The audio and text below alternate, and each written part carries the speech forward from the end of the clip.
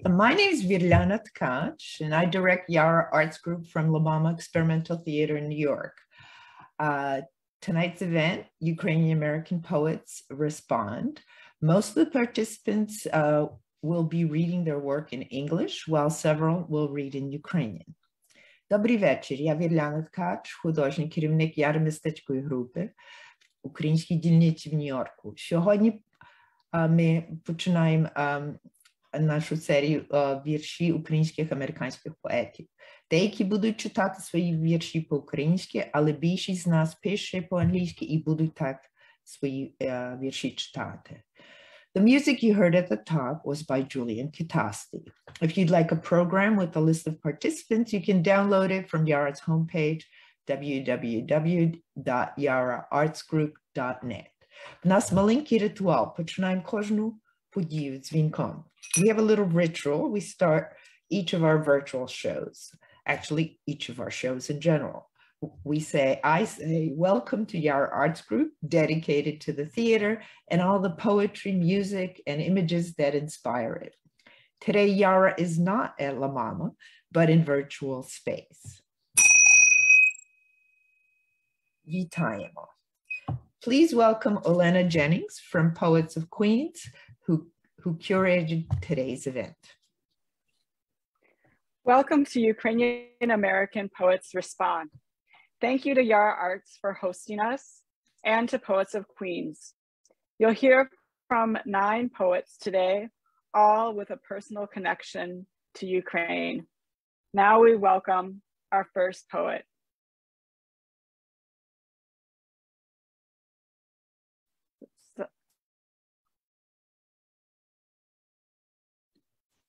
Hi, my name is Stash Luchkiw, and uh, I'm in Krakow now. I'm originally from New York, so I write in English.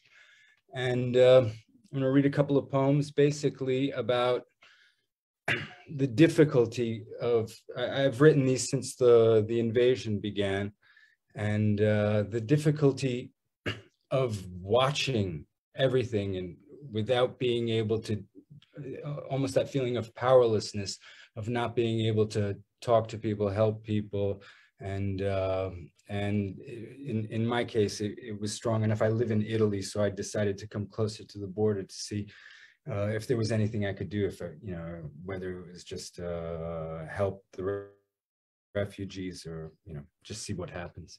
Um, but anyways the the first uh, the first poem is called rage we scroll through salvos of grim information we watch the images till our temples hurt. We listen to the curses meant to make sure we know. And with each scream, our stiff fingers itch to pull some trigger that might lip, lift us up from years of indifference, might slip us across the border between slack jawed paralysis and righteous rage. So we witness how they wail to move us into action while we wither in doubt or exult in our anger, aspiring to a glory because we are human. And being so human, so we can fight off the fury consuming us, fight with still deeper ire. It's rage. And uh, the second poem, again, Ukrainian based, uh, it's called Black Earth. The earth over there is black. As black as the world's mother. And I am sun, She feeds me at dawn and watches my bonds come undone and fills me with longing to scour her skin. The earth over there will soon be cratered, like faces disfigured beyond recognition, shell shocked and haunted by glory's silent shadows. Seething men and lip bitten women, eager to mete out revenge. The earth over there is wet as wet as a fresh woman's face at the sound of a strange woman's voice. And I fear for the child, like a child unable to explain how we can cease to exist. The earth over there, it runs with us as it's run with blood from the world's first plow and will keep running toward the dire glow at the end of the road to that limitless steppe.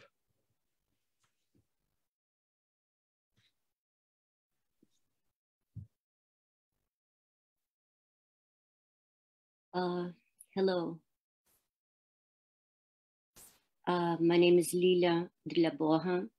I'm reading from New York City and I'll be reading excerpts from my Ukraine notebook from uh, 2017. Punkt. Today, I helped out at the railroad Punkt in Kyiv, the place where soldiers meet to catch the train that takes them to the war. They told me that they had to pay for the tickets themselves. We gave them sandwiches, coffee or tea, sweets and fruits, and little talismans to keep in their pockets thumb-sized dolls with big boobs, blue and gold bracelets, or wooden crosses to wear on a string around their necks. For some reason, a lot of soldiers wanted to talk with me when they learned that I was an American. They seemed to consider it a blessing of some kind, a good luck charm.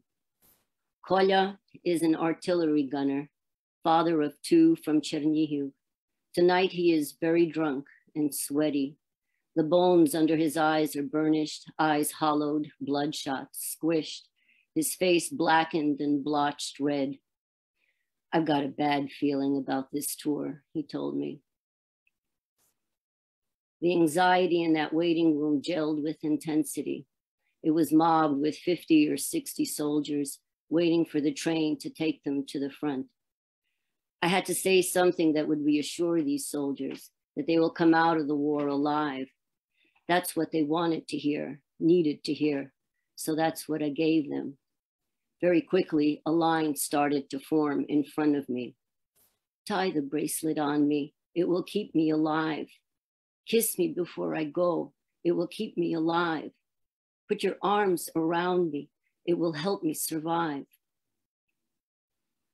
Avdiivka. Uh, Avdiivka was uh, devastated by missiles in 2016 uh, fired by Russian troops that had destroyed uh, and occupied nearby Donetsk city, which was just a few kilometers away. There's no leftover food in Avdiivka. Scraps are put out on the curb for animals who cower and look at you sideways, bones sticking out. They sag and press to the ground with each tired step, just like the people who are still living here. The apartment where I'm staying is right across the fields that are littered with mines. As soon as I arrived, I was told not to walk there. The missionaries took me in. There, there was nowhere else to stay. They don't lock their door. This more than anything else surprised me. One night, when there was no shelling, we watched Sound of Music together, dubbed in Russian. Four ladies eating popcorn stretched out on a queen size bed. They borrowed the apartment from a family who had run away during the onslaught. Luda is always thinking ahead. Chased and displaced people will do that. Today, they may kill us, she told me matter of factly, I must be dressed well. Her cascading mane of blonde hair skims her shoulders. Luda and the other missionary ladies make a point of dressing nicely every day so that the separatists can't call them bums when they're killed. The lake. The missionaries and I went on foot to the lake, a man made lake to unwind. It was a long walk from city center, across the railroad tracks into the rural area with single family homes, cottages. There were many people at the lake in bikinis, fat and slim, eating sprats and oil, drinking homemade vodka, Ukrainian pop music blaring from the snack bar, colorful umbrellas all along the sandy beach. Nice place to go in the middle of a war, if it wasn't for all the missiles flying from the east, landing behind the bulge at the edge of the, at the edge of the lake. Big sign says, no swimming allowed. Of course, people are swimming. They paid 10 hryvnia to go here. You can bet they're going to swim. Suddenly, loud sounds of boom, boom, every minute or so, and missiles whistling. No one flinched or even turned their head. As the time passed, more and more whistling, then booms, maybe one or two kilometers away, no more. Then black clouds rising from behind the bulge something was hit just beyond the lake, behind a little bump in the terrain. I saw a woman I met earlier at the high school graduation I was invited to when I arrived. She sang so beautifully from her belly to serenade me, welcome me to Avdiivka. She and two girlfriends and her husband are on the beach, blankets, laughing, eating sprats out of a can, sausage, bread, and drinking wine. I come over to say hello to them. Did you tell Trump hello from me? She's a bit tipsy. She's been asking me that ever since we met. Suddenly, boom, boom, black smoke. No big deal again. No one reacted. The missile falls right behind the swell of land on the edge of the small lake. Why do they keep shelling that same spot over and over again? it occurs to me that Ukrainian soldiers must be there. The separatists have been bombing this old section of Avdiivka a lot, home of ordinary people, many old people. I think they want to take over this recreational area, is why. They want it for themselves. Everyone knows that many separatists live in Avdiivka. They go back and forth to the front from here. It's walking distance. They come home on the weekend and return to the front on Monday or whenever they rotate, like a job. That's why they're not really shelling the center anymore. They're aiming for this rural area. Ay, Christina is becoming a pain in the ass. I don't like her. I think she's following me, calling me often, wants to meet. I don't trust her. She's originally from Moscow, but now lives in Barcelona, so she says carries a camera with her all the time, claims to be a photographer. I heard that one before from other people who were snooping into my business. I suspect she's been sent from Moscow to look in on me. The shooting gets worse at the lake. The whistling of missiles, then boom, boom, more whistles, then boom, again whistles, boom, boom. But we don't see them. We just hear them and see the black smoke behind the bulge. You could swim there, it's that close. Now the people begin to panic, start collecting their things, blankets. They don't even bother dressing. The missionaries were not in a hurry, though, said they still wanted to stay. The music in the food pavilion was playing loudly, the missionaries took it all in stride, though, confident no bomb was going to fall on the lake's disco. Christina, the spy, asked my acquaintances if there's room for two of us in their car. The three women, big ladies, and one husband pile in. I sit on someone's lap. Missiles flying. Boom! Black smoke. Everyone is talking at once, telling others what to do, what should be done, what not to do. We're all squished, and the husband starts the car and drives it straight into deep sand. The car sinks, stuck deep. More than half the wheel is buried in sand. We all spill out of the car. We try to dig it out with our hands. Doesn't work. I call Sirhi. Christina, for some reason, is yelling at me not to call him, tries to grab my phone out of my hand. He is head of the Simikya here, civilian military affairs. But frankly, I don't think he does much of anything other than patrol the streets and beat up drunkards. I've taken strolls with him in the evening. I tell him the situation. People are in a panic. The driver drove the car into deep sand, can't get out, and they're shooting pretty heavily. Black smoke. Perhaps you can come and help dig us out help evacuate people out of here. This is your job, is it not?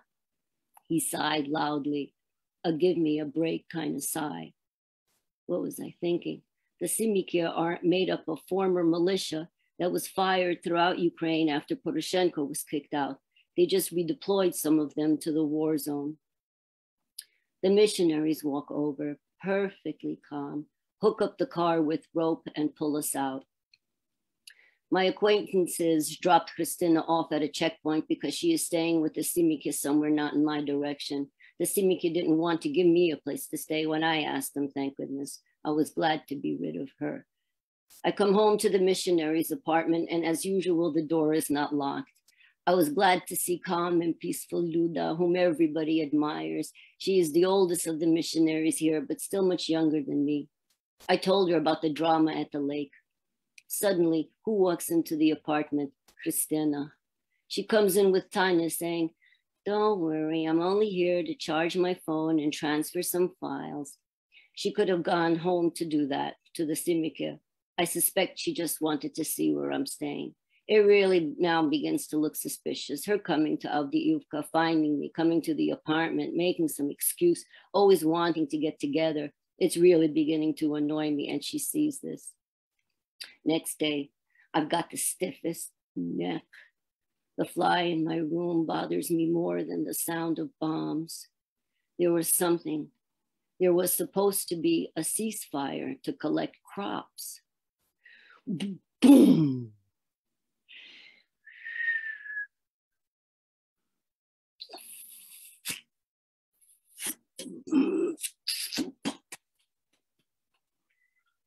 I'm sitting on my bed and listening on a pivot of my whole anatomy, compelled to give form to sound, to each round of fire. What for?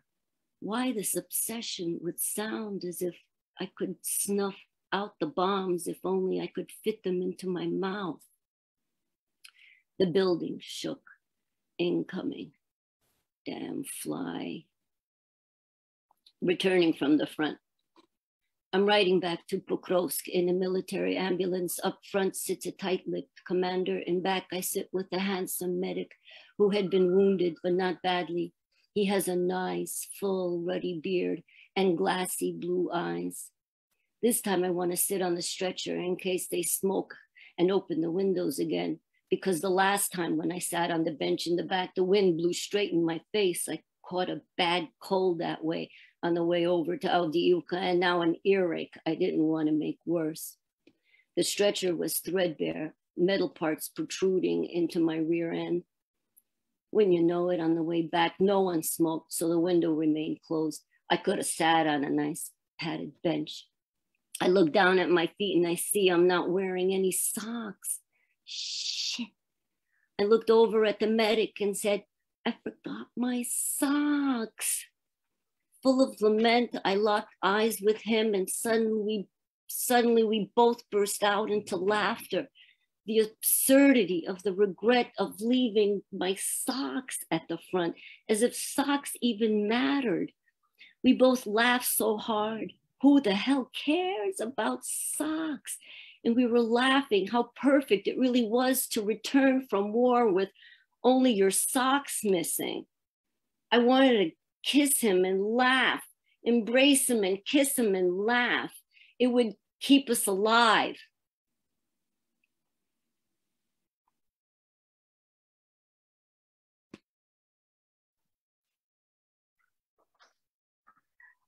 My name is Olena Jennings, and I'm reading from Astoria, Queens.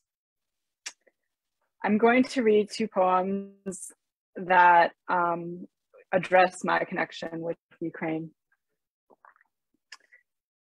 This silence. There was silence then in the Kiev apartment, forming a soft layer into which I could stick a pin. I walked to the department store in my heeled shoes until my feet bled. I bought a player to listen to all the cassettes, to break the silence, especially when I was having friends over for pasta and freshly gathered mushrooms. Instant coffee afterwards and a cigarette on the balcony, imagining the sounds of the cassettes even when they weren't playing. There was silence then, pierced by a fishbone in a restaurant where friends sang about an evening in the capital. Now silence is pierced by air raid sirens. Now silence is full of partings. What we call it. The village has turned into a sleepy suburb. I look into the woman's window and see the living room. Her body stretches to reach a glass she fills it with warm tea. Her lips fill a lemon wedge. She cringes with joy. This is the village where the tiny pig that my grandmother loved so much was stolen, and her life was stolen. In another country, she tried to remember. She brushed her mother's silk scarf across her cheek. She tried to make her body remember. She reached into a container of flour to feel something. Thank you. Hello, everybody. Um, thanks so much to Olena and Virlana for organizing, and thanks to, um, it's an honor to be here, and thanks to everybody for tuning in. I am Christina Lutsenko, and I'm reading from Long Island, uh, New York. And I'm going to read two poems. The first one is Imagine Belonging. When he was a boy, my father practiced it again and again, wanting to perfect his new American signature. L's swoop like unfinished eights, wandering off at the O a studied carelessness, a practiced future. Some little things, if you do them long enough, amount to great things. At least this is what he taught me. He taught me that yes, warriors are clever in all things, but strong doesn't mean big, and the struggle doesn't stop at your door. He taught me that melodies, lyrics, whole songs won't be forgotten if we sing them in waking and dreaming hours. Do you hear it when your eyes are closed, your heart's beating history? And so in the dream, I listen to your voice. Your voice is like a holding place. We sing and wait for the clouds to gather, and we measure time, not by anger or sadness or fear, but by the sublime and defiant tune rising. A repertoire we have always known, of course, a river flowing, flowing, a nation inside us rising, wild and bright like the moon. And the second poem is actually, it's a, uh, a poem by, I'm gonna read from um, Oksana Zabuzhko, one of my favorite Ukrainian poets. And this was from a collection called From Three Worlds. Um, and this one is List Izdachi. Letter from the Summer House. Hello, dear. The land is all rusty again with acid rain.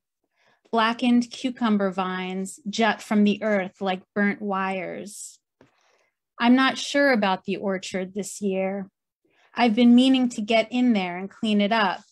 But to tell you the truth, I'm scared of those trees.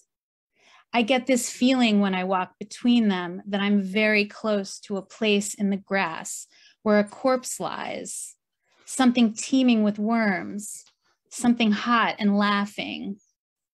And I get nervous over sounds. The day before last, a cry rose up from deep in the garden, like a meowing or a single grating branch or a goose being strangled.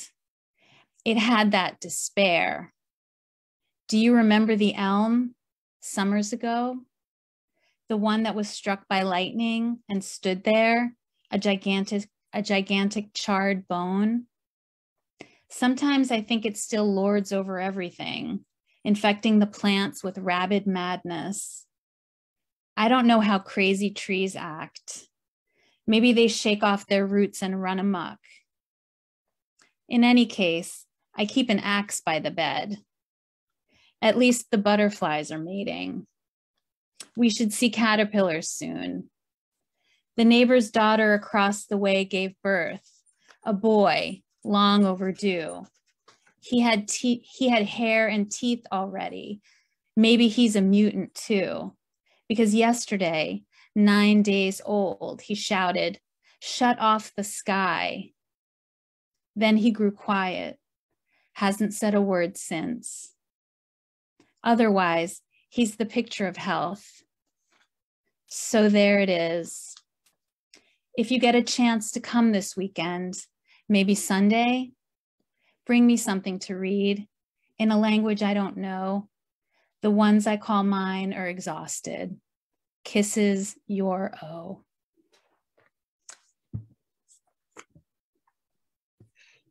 Um, hi, um, I am Oksana Lutsyshyna. I am right now in Austin, Texas. Um, I'm going to read two poems in the English translation. So the first one is called The Cat, and it has been translated by Oksana Maksymchuk and Max Rosochinsky. Father asked, write a poem about me, how I was young, how I was, period, played the guitar, chased a soccer ball in the field, bouncing it with my head high in the sky. How I returned home to our apartment that smelled of oatmeal and Sunday laundry, with a tapestry hanging on the wall. On the tapestry, a man and a woman, woven in red, ride a pair of black horses. No, father, I kept saying, I can't. I don't know how to write about it. It's too close. It's too close, and so it doesn't seem real. All right, he sighed and went back to work, exchanged his fedora for a baseball hat, his guitar for a church choir, and soccer for a car. Nobody cooked oatmeal anymore, but the tapestry stayed. And then he stopped asking. He realized that I'll never write about him. But we have a cat, he chuckled, write about a cat a red cat with white spots, a red cat with a white voice. If I don't make it into your writing, at least let the cat remain woven out of air. And the second one um, has been translated by Askold Melnyczuk. I am lucky my parents were peasants, sturdy stock and stout bones. Had they been like me, they wouldn't have made it. Had they been like me, I wouldn't be here. On roads where ashes roil with dust, where bodies bloom in the rain, where the dead blossom of youth froze for days, and for a few hours no one was old. The world was all wounded youths. Why did my grandparents survive? Was it because they felt the burden of generations of the unborn, of those to come in five, in 30, in 50 years? And those who died, they were like pruned branches, light and free. And only on my father's side, the cancer of legacy, women's tears like women's fists, proud heads, which always fall first. These were women unused to standing for long because the veins on their legs exploded, who were unable to weep long hours without going blind or mad. You had to know how to do everything tend wounds, bake bread, dig trenches. Nobody taught them. They had to learn for themselves. And they wrote poems, not like before, shorter now, nearly wordless because they no longer had metaphors, only the clay and the sun. Hi, I'm Dzvinia Orlowsky, and I'm reading uh, for you from Marshfield, Massachusetts, south of Boston. Um, thank you, Olena and Virlana, for curating and organizing this reading and for inviting me to take part. Um, it's an honor and a privilege, and thank the rest of you readers and everybody out there who's listening. Um, I'm going to read three poems and one short translation the first poem I'm going to read is to honor um, a friend of mine, the late Ed Hogan, which Christina, you, you mentioned with the Three Worlds from Three Worlds uh, anthology. And I wanted to bring him into the reading because um, if he were alive, he'd be probably involved in this reading and he'd be doing so much to bring Ukrainian literature to the forefront. So um, this poem was dedicated to him and it was unfortunately written on the occasion of his tragic canoe accident in which he and his companion and her nine-year-old son perished. And this poem is called Elegy for Ed Hogan. Black tree shadows along the paved road are a safe lake, intertwined with light, a rustling of leaves undressing, eager for winter, the cold they won't feel, anticipating ground. I'm going nowhere in particular today. I'm three o'clock passing on to four. Among others whose hearts pump anonymously at their own doorways that swell with excitement, occasional adventure, packed knife, the apple forgotten. I was nowhere last night, in particular, breathing in my room, dreaming of you, taking off your jacket, untying your shoes for you, making you lighter, pushing back the water. Today, leaves scattered from trees fall from autumn skies, from four o'clock passing on to five, from anything meant to hold or save us. This next poem is um, after a poem of, uh, written by Natalka Bilotserkivets. And um, it's titled November and it's inspired by her beautiful long meditative poem um, of the same title. So November. I turn the key, enter my room. Dark corners welcome me. Muddy taste of rain, leaves taken into hands. I could throw my life away and it scarcely make a sound. Shall I go there, where tiles of light lie in the fields, to the cobwebs maze, blood illuminated words, to where a stranger removes his gloves, traces his finger from vein to heart. Water revives with early snows, washes fat roots beneath sidewalks. Uncertain knock, the glass lamp lit. I could choke on light that has yet to pass. And um, Ed, Ed Hogan had introduced me to Natalka's work back when the anthology was coming together. And the past two years, I've had the privilege of working with my co-translator, um, translator, Ali Kinsella, um, on Natalka Bilotserkivets's poem with this book, Eccentric Days of Hope and Sorrow, which came out this past November. So November seems to be a theme here um, of last year. And I just wanted to read one poem in English. Bridge. The air is as still and hot as my body, arch like a bridge over a river. It's so quiet, the nightingales must be drinking their own black alcohol. No sounds, only color and shades spread out across the water. Face up, that's how it was with me, evenings as glorious as spirits. There are memory catastrophes they collapse into signs, half tones, details of blocks, construction of rail, inflows of blood, formulas for love.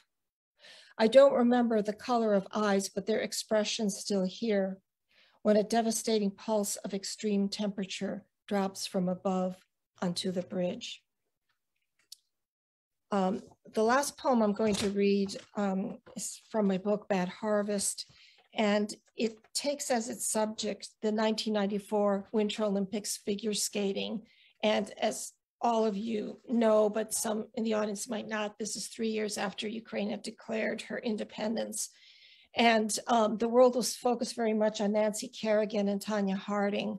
And I, I, wanted to read this poem because I couldn't, I was really taken by the uncanny parallel with watching the Olympics this year, in particular the figure skating, uh, and then seeing that picture of Putin just sort of sitting there and realizing that in his mind, he knew that this catastrophic attack on Ukraine was about to happen while his own figure skaters sort of rise and fell. Um, the, the title is after Emily Dickinson's Hope was a thing, is a thing with feathers. Um, so this is my response poem written in pantoum form. It's called Hope Was a Thing with Pink Feathers, Oksana Baiul. Hope was a thing with pink feathers circling Olympic ice. Despite her tender years, a woman of great composure.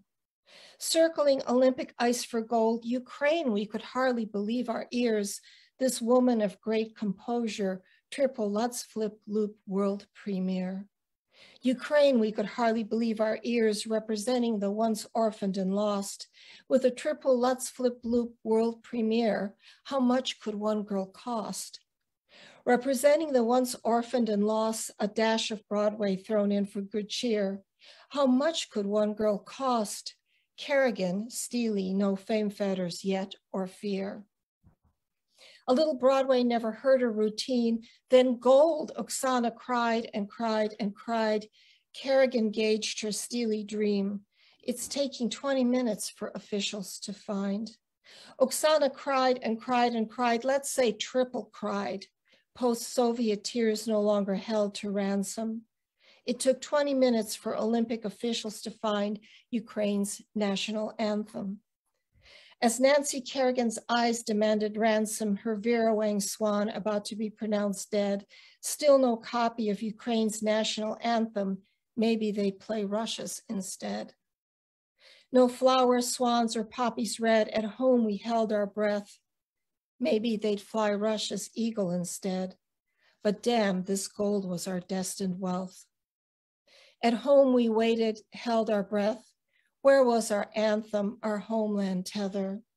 Slava Baha, this could be our wealth. Our hope was a thing with pink feathers. Thank you.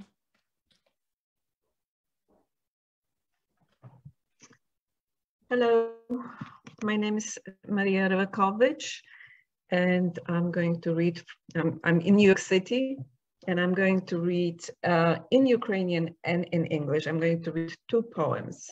Uh, the first poem I wrote a long time ago. It was in the summer of 1991, literally on the eve of Ukraine gaining um, independence. And I feel that maybe it is appropriate. Uh, it has two parts.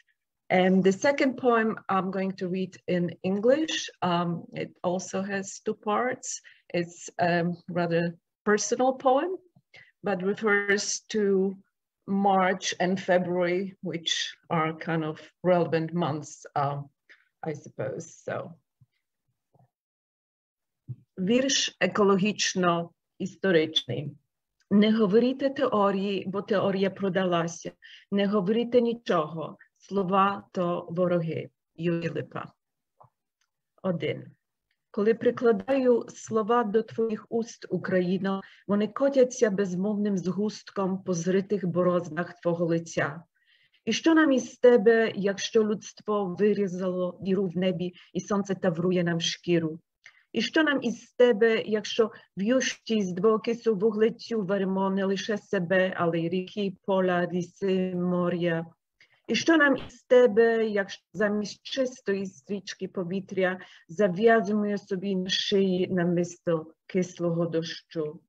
І що нам із тебе, якщо з вершка твоєї голови зняли зелену рясну чуприну, залишивши сивий чуб чорнобильського диму? Два.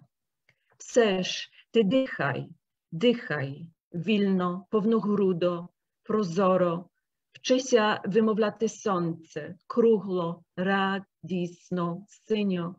Заплітайте рсі коси в степу, якщо ще росте, вимивай лице у Дніпрі, якщо він ще тече, любуйся Чорним морем, доки воно ще твоє, голуби співом ліси, доки ще зелені. Так і не судилося тобі натягнути час на списи століть. Історія стала на півдорозі, і мов подряпана пластинка в старому грамофоні, ікається на звуку У. So my second poem is titled Two Monologues. One, early March monologue. Night, snow outside, white, lonely New York knocks on the door. I don't answer. I wrap myself in your words like a warm, cozy shawl and feel carefree. It's quiet and, and still. Just from time to time, the street begins to speak in a passing car. In absence, there's a certain gravity, a word not thoroughly explained that's hanging above our distance. You'd like to open this work like a book, and who will guess what's on the final page? I'm falling asleep, not having read it to the end, and it's real winter outside the window. Two, mid-February monologue. And why do you need to open the door to the entangled past? The door has been grated too long with the heavy padlock of bygone days and a grimly rusted key. Kiev in mid-February 2010. Alluring in transluted frost and corrupt politics, unexpectedly brings your blossoming smile as if it is a dessert in a strange bowl out of which sham warm through the sun slides down like snow from the sloping roof. One chat about everything over a cup of tea. Easy to talk about politics. It's cheap and does not oblige. Yet there's no desire to talk about ourselves. Too many winters have flown to the sea. Too much grass has been burned in the sun. Though still, why do I want dessert so much? And I didn't mention that that's, uh, these poems were translated but by Svitlana Bednash. Thank you.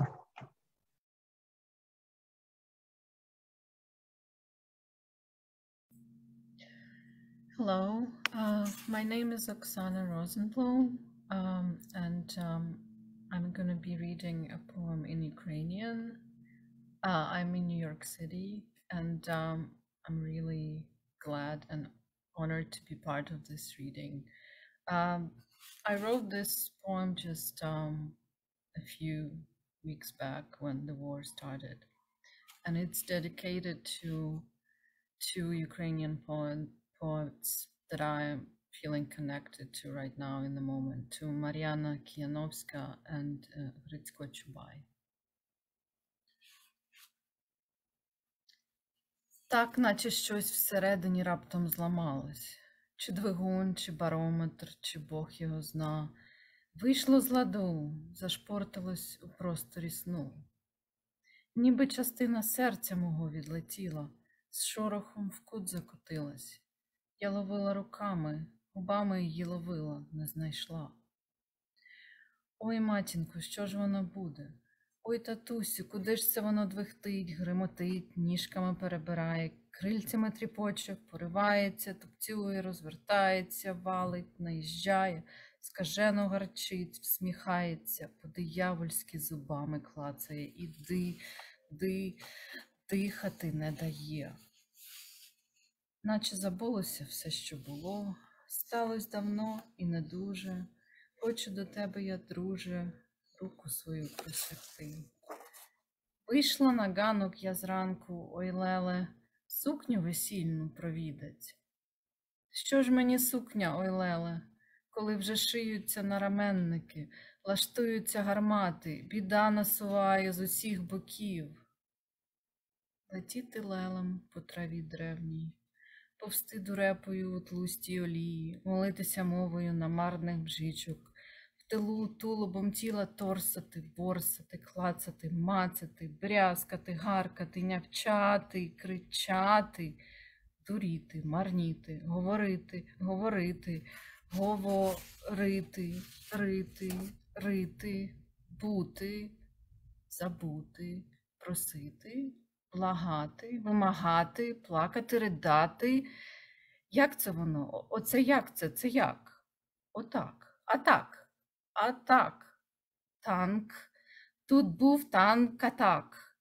Там був танк. А так. Може так. Може бути так, може бути атак. Психічний атак. Так. Мовчати. Спати, спати, спати. Московское время полночь.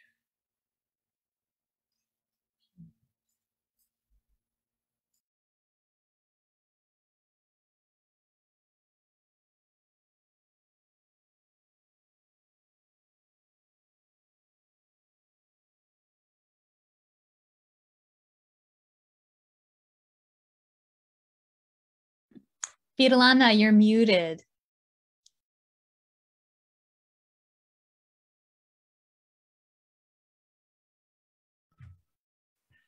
Hi, I'm Virlana Tkacz. Thank you, Christina. uh, we were at, uh, I wrote this poem a few um, days ago, and I'm reading from the East Village. Uh, we were on Zoom, just about to start, with Anna called. For weeks now, my old obsession with theater director Les Kurbas was cooking with gas.